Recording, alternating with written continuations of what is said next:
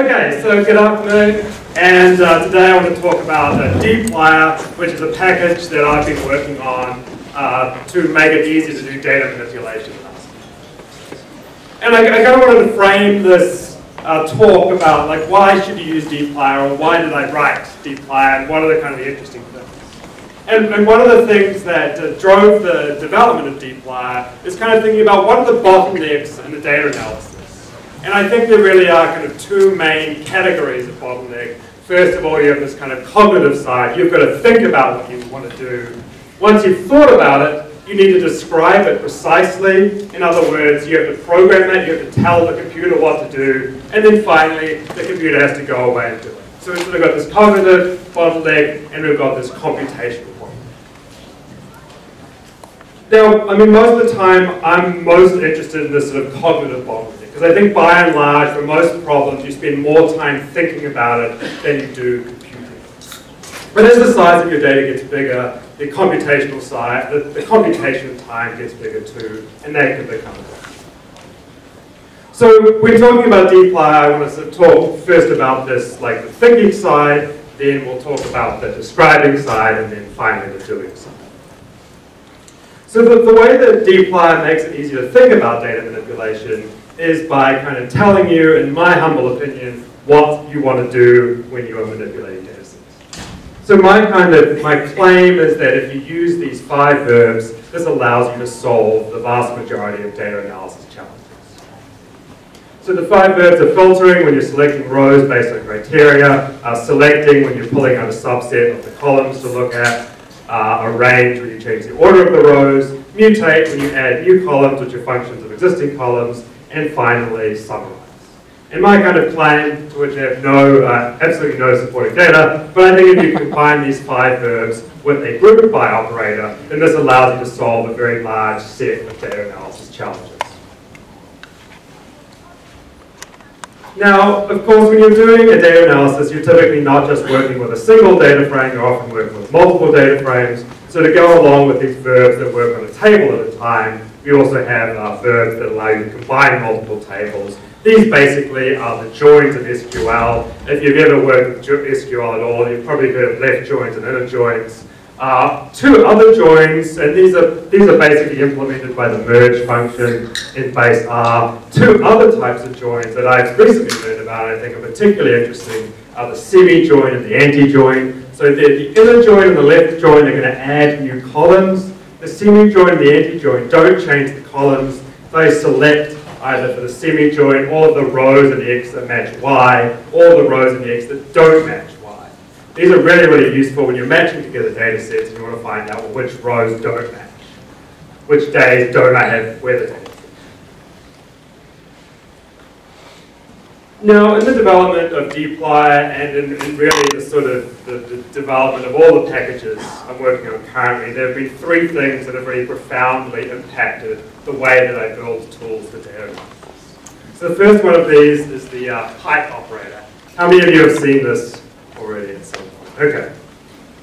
The second is uh, writing this advanced R programming book, and the third is Rcpp. So I want to talk a little bit about how these have really profoundly impacted the design of uh, So the first one is this percent greater than percent operator, this pipeline that comes from the magrittr package, although uh, it turns out that sort of somehow at this moment in time, many, many people have been thinking about pipelines, and there are another number of other packages that implement rather similar operators.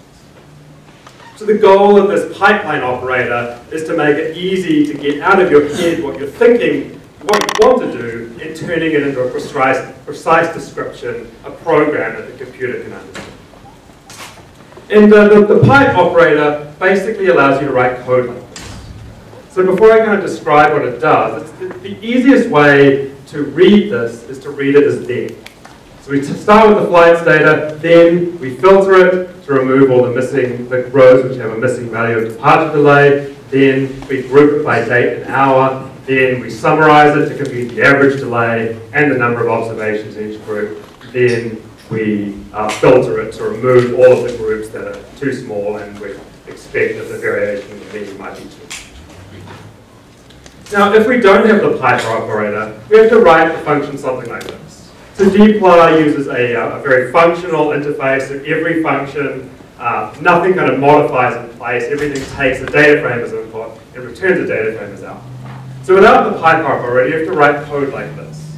So you can read this, but you've got to kind of read it inside out, flights, filter, group by summarize filter, and then for these outermost things, the, the important arguments are rather far away. So what this pipe operator does is it basically takes the left-hand side and inserts it into the argument on the, the first argument on the right-hand side. So it's doing this with a lexical transformation. This is kind of, there's a number of things that this is kind of similar to like uh, method chaining in JavaScript, or if you've ever used Haskell, this is like the arrow notation for monads.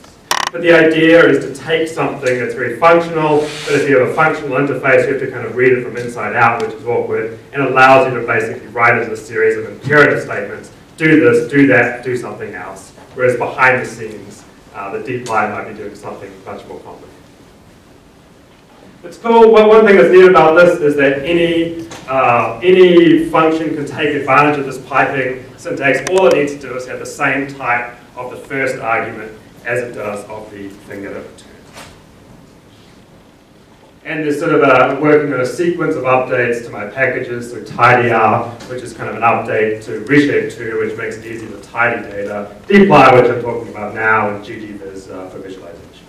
So all of these packages use the piping operator that's designed around this uh, function composition interface, which makes it very, very easy to string together multiple operations to do a real data the next thing that's had a profound impact on the way that I write tools is Rcpp, and the main impact that that's had on dplyr is that when you're actually doing the computation, it's actually rather fast.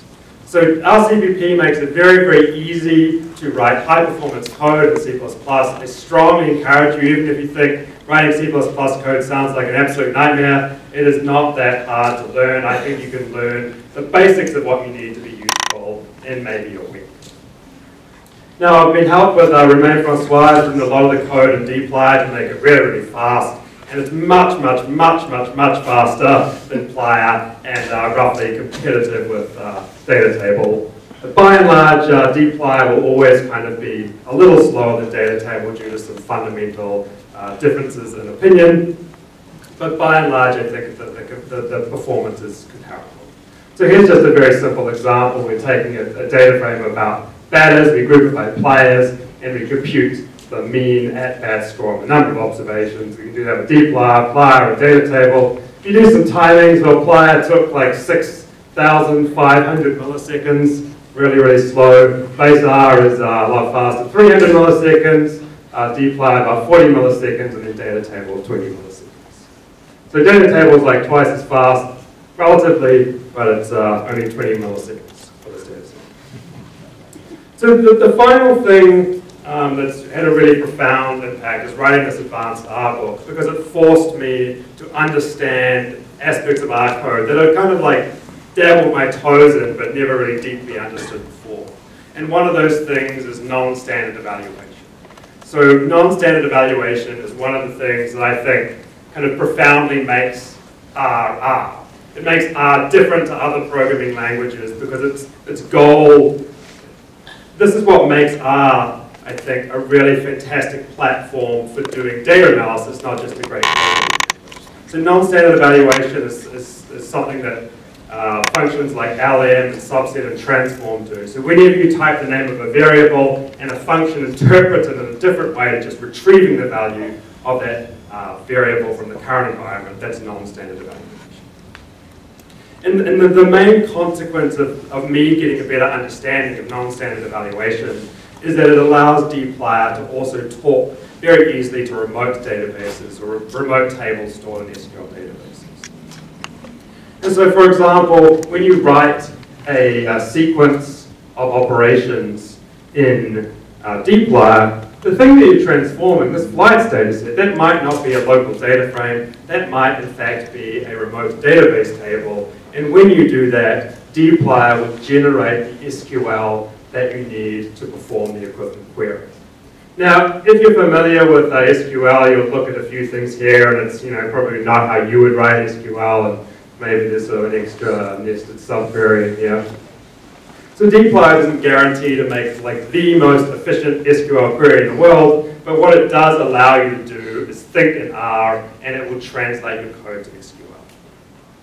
And I think that, that, that when writing R code and writing SQL code is really challenging, not because R and SQL are so different, but because they're so similar, but there's a few like really frustrating things. So for example, uh, in SQL, or at least in, this dialect of SQL, you really should quote all of your variable names, so SQL knows those are variable names, that allows you to use variable names that to SQL are special, like select from.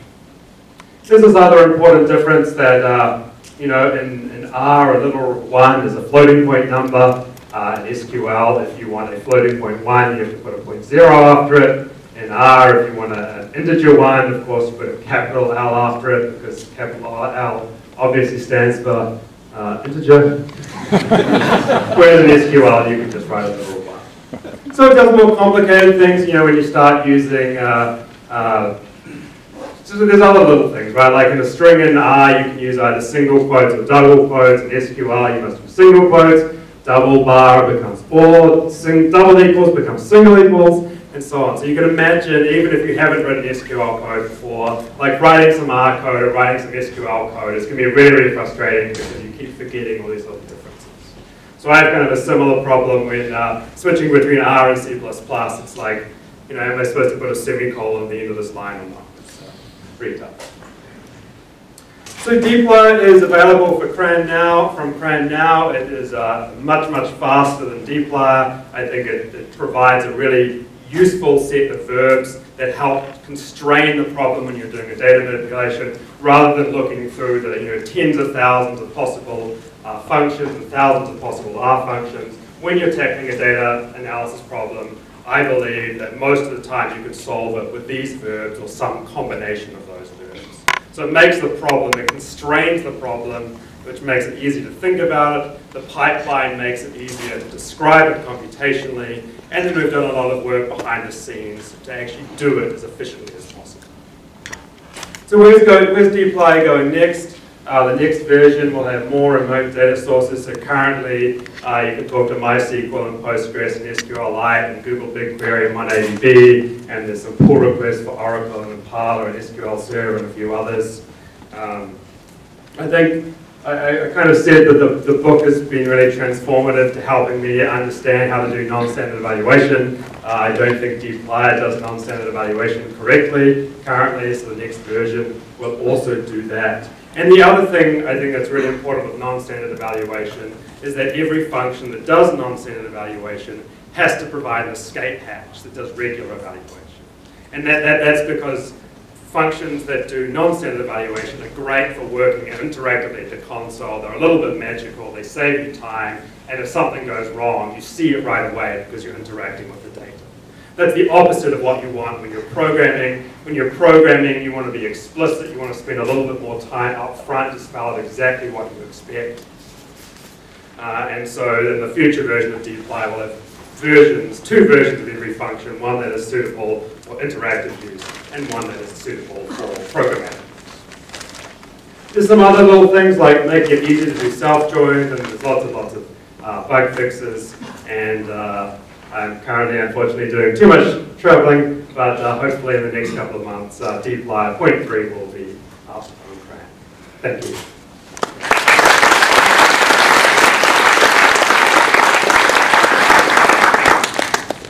Questions?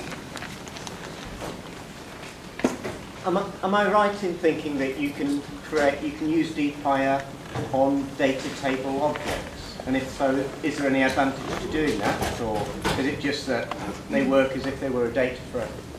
So you can, uh, one of the other data sources that uh, supports is using data table objects directly.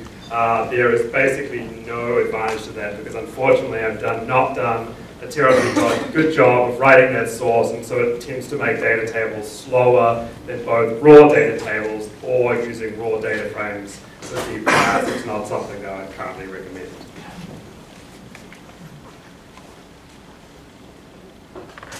I've got another one then. Okay. Um, you, what about different varieties of SQL? if we're talking to SQL Server or Postgres or Oracle, are there, are there any potential problems there? Uh, so the question was about different varieties of uh, SQL, and there are basically, as far as I can tell, the rule is when you create a new database, you must develop a new way of quoting variables and uh, quoting strings. So I think every no database is terribly consistent. One of the things that's really frustrating about SQL is although that there is this ANSI SQL standard, that standard is closed. If you want to read it, it costs like $3,000 to buy. So there's a lot of variation in implementation, and dplyr kind of tries to paper over that as much as possible. Um, but it, it, it, there's more detail available in the, in the, the dplyr vignettes, which uh, I should mention. If you want to find out more, you can just Google for it. The vignettes describe in a bit more detail how the database connection works and how the SQL translation works. But yes, SQL variations are a huge, huge, huge pain. When you're connecting to a remote database source, are you using the RDBC interface or do you have a native interface? Let's say- So the, the question is what uh, connection is used for remote databases. Currently I'm using like the individual database packages, so R PostgreSQL, R MySQL, R SQLite and so on. Uh, there's not currently any support for RODBC because it doesn't use the, the standard DBI database interface that every other database package does.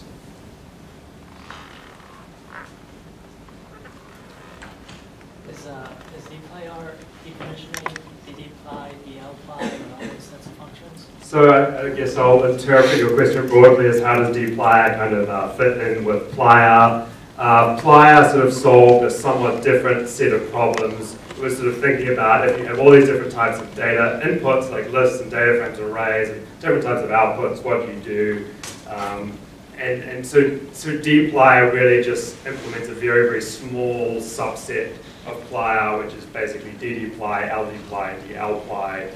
Uh, my feeling is now, um, if, you, if you're using those bits of, plyr, you're better off switching to dplyr. And in fact, it's basically a cost-free translation because dplyr is so much faster than plyr. Um, you know, basically, if you start a plyr job running and it takes more than five minutes, you should just start learning dplyr and then run that instead of get plyr job. Okay, Thank you.